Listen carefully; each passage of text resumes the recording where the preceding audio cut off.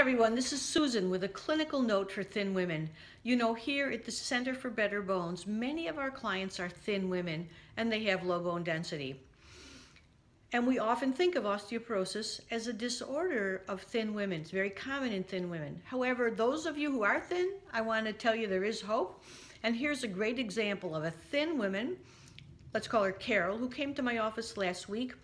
She was 59. She'd gone through the menopausal bone loss. She only weighed 115, and she'd actually been thin her whole life. Yet her bone density, even after menopause, was that of a young person.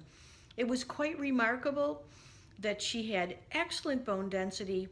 And when I looked at her case and distinguished it from some other clients who come by my office, from the vast majority of thin women, two things stood out. Number one, Carol did not worry. She wasn't anxious. I mean to say she worried, but she didn't have a high level of anxiety. She was kind of comfortable with her life, even though she was an activist and very involved in the community. And number two, she had strong digestion. Over and over again, I see that many of the thin women are very worried and have weak digestion. Because of this, they're not able to eat all the nutrients that they like, they're not able to absorb them, and many times they even have poor appetite. So if you're a thin woman, take hope.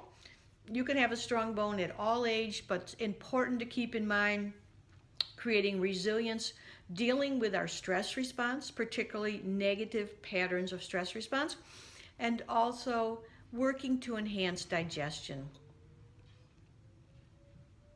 There's always the opportunity to build bone health. Talk to you later.